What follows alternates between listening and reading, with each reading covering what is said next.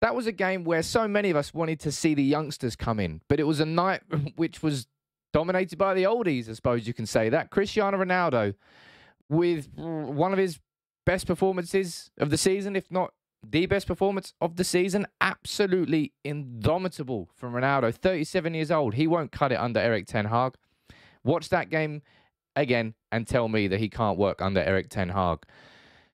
It's nice to watch a United game, come here for a match reaction and not be pissed off. That's the first thing I would say from that game. Second thing I would say from that game, I would say well done to everyone who walked out in the 73rd minute. The protest that happened before the game, the third game in succession. Keep doing what you're doing. This is not the sort of situation where you try and poke fun at some United fans for trying to do something. Just get behind all of it and support all of it, and I will. That's what I always do. But back to the game and back to that man. Wow. Wow. Cristiano Ronaldo, man, I saw him play tonight. I saw him at like number nine. I saw him number 10. I saw him on the left wing. I saw him on the right wing. I saw him in his own half. I saw him tracking defenders. I saw him instructing everybody to press up with him.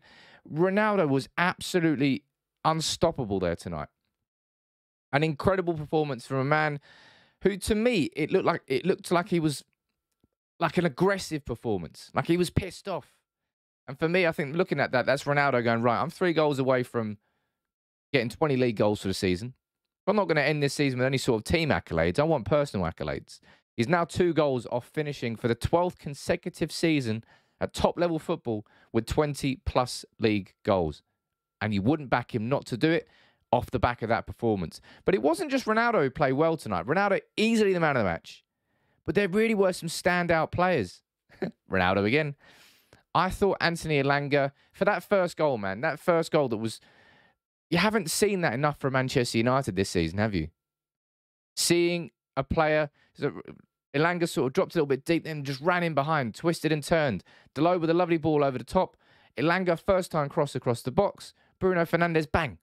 1 0. Great goal from United. Very, very simple. It required two passes and runs from two players. But United just typically this season, we haven't been active enough. We haven't been moving enough. We haven't been dynamic enough as a team. We could have created that chance so many times this season. So many times. But we just hadn't been on it enough.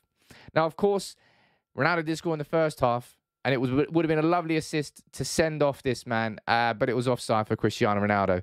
Um, a quick word on Juan Mata and a quick word on Nemanja Matic. You know, tonight really did have a bit of a testimonial feel about it. And United did play some exhibition stuff. It was, as I said, it's nice to come away from that from watching a United game, not just full of anger and full of oh, there you go. Well, you've lived up to my expectations. Tonight we actually play. I find it kind of weird. I genuinely think two of the best pressing team performances under Rangnick came in his first and his last games in charge at Old Trafford against Crystal Palace and Brentford. It doesn't really make any sense. What happened in between? But Juan Mata, man? Old Trafford gave him a stand innovation, and they gave Nemanja Matic a stand innovation as well. Fair play to both of them. Mata in particular, I would love to see him back at the club in some sort of ambassadorial role. I think he's been. I mean, it's a shame we didn't sign him a couple of years earlier but he's still been a very decent signing for United. I wouldn't put him down. There's so many more uh, other signings that I would put down as failures ahead of Juan Mata. But yeah, just that collective there from the team today. It was good. It, it, it, it makes me angry because I'm saying, why didn't you do that against Leicester, Everton, Liverpool, Arsenal, Chelsea?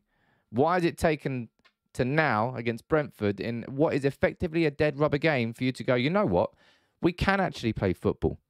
And that performance there I know it's against Brentford, but you don't remember the Brentford game away from home in that first half? We got absolutely played off the park.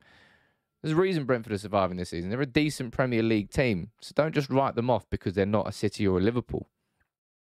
United played well today.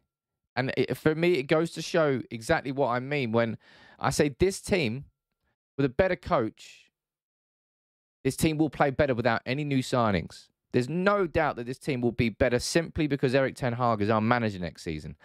And I really am intrigued to see what happens with Cristiano Ronaldo. Because Erik Ten Hag must be rubbing his hands together. He's going from Sebastian Haller to Cristiano Ronaldo, who's now on 24 goals, I think, in all competitions for United this season.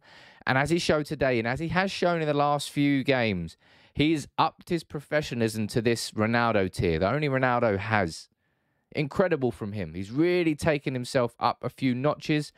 and showing that even when the backs against the wall, that he's the sort of man that you can rely on for goals and goals and goals.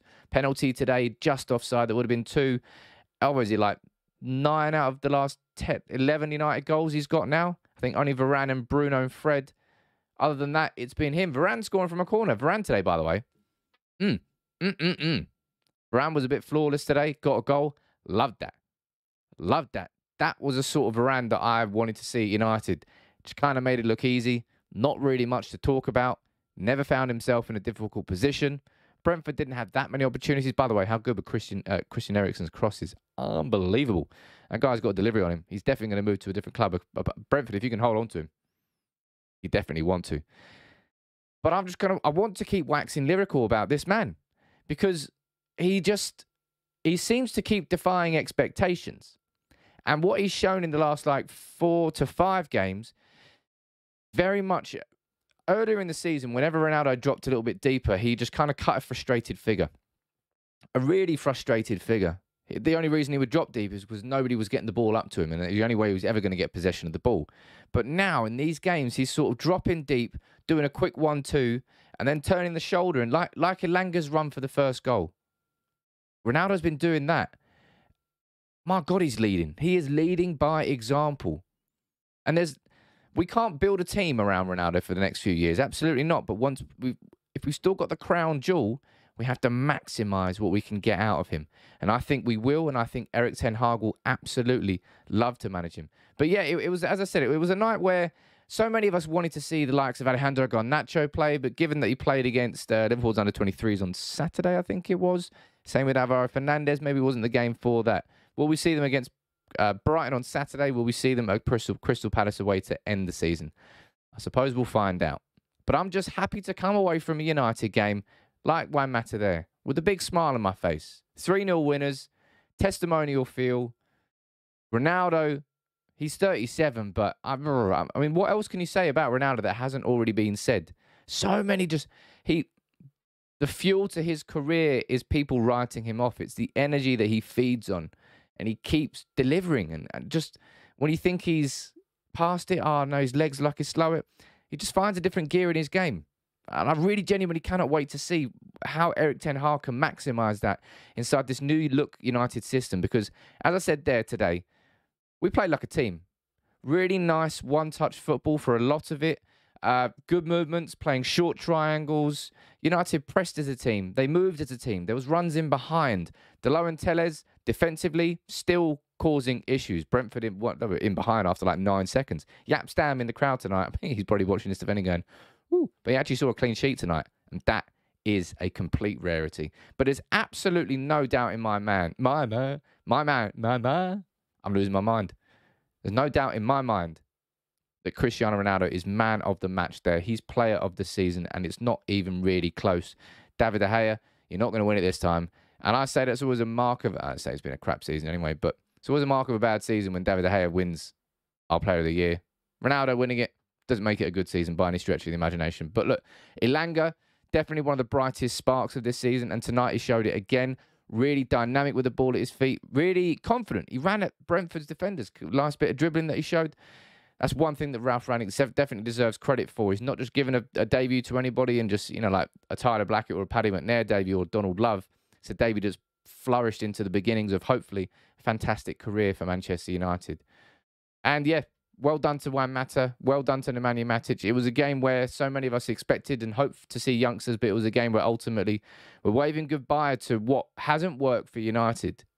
Nemanja Matic, Juan Mata, Edinson Cavani, hopefully Phil Jones, Jesse Lingard, Paul Pogba. The final time any of them are going to be seen inside Old Trafford as a Manchester United player. That really was sort of like the changing of the guard that game. And it's a nice way to go out, I suppose. 3 0 winners, very comfortable, nice football. Ronaldo, incredible. I can't wait to see him under Erik Ten Hag. But what's your reaction to that in the in, in the comment? Let me know in the comments. And as I said, it's just nice to come away from a United game and not just be full of scorn because I'm bored of it. A couple of games before the end of the season, it's nice to get that. It felt like a testimonial, and I suppose it effectively was for Matic, for Mata, and everyone else leaving. But Ronaldo, He's not finished yet. He's absolutely not finished. He looks so aggressive and so so good.